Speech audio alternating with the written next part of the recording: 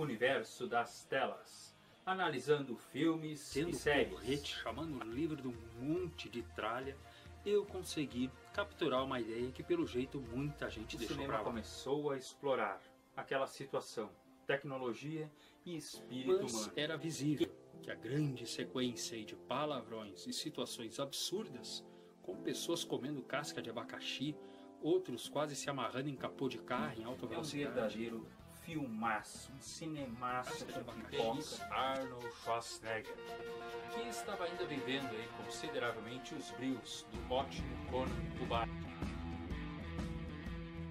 E o quinto, quem diria, foi pela família e pelos bons costumes.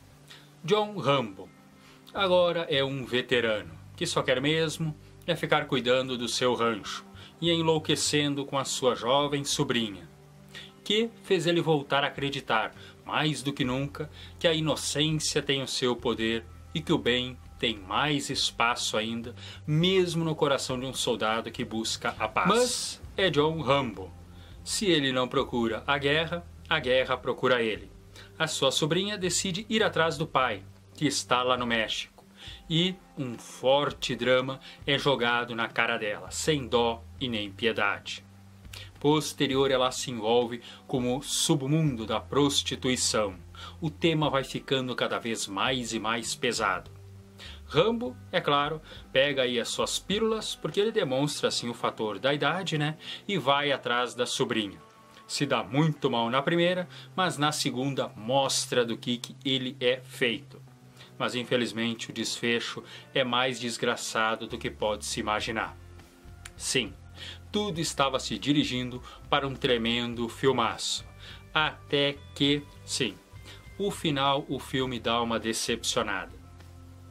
Uma grande batalha ocorre na fazenda de John Rambo, onde ele usa todas as suas técnicas né, de soldado especial, de tropa de elite, que ele foi na malfadada guerra do Vietnã.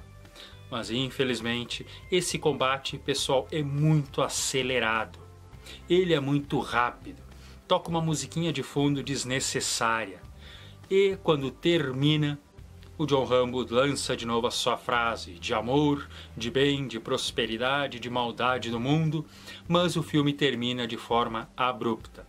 Se não fosse tão acelerado esse combate que tinha tudo para ter sido ótimo na fazenda e o final ter sido mais emocionante, ele sentado numa cadeira de balanço com o sol ao fundo, que lindo. Mas pena que tudo isso é muito rápido. O filme perde, posso dizer, o ótimo clima que vinha fazendo.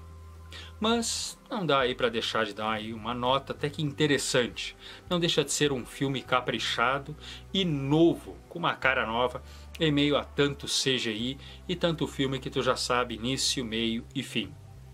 Só vou lamentar porque fica o ponto de interrogação. O que será que John Rambo fez naquela cadeira de balanço? Se foi ou ficou? Eu espero que tenha ficado e que dessa vez não demore muito, quem sabe para fazer mais um sim Rambo, se é que sobrou alguém na família dele. Mas está lá os cavalos, quem sabe pelos cavalos e pelas vacas ele queira fazer uma vingança. O clima está muito bom do filme, um drama profundo e forte. Mas o final, repito, dá uma acelerada desnecessária. John Rambo, parte 5, até o fim. Não sei se foi, mas o fim podia ter sido um pouquinho mais esticado.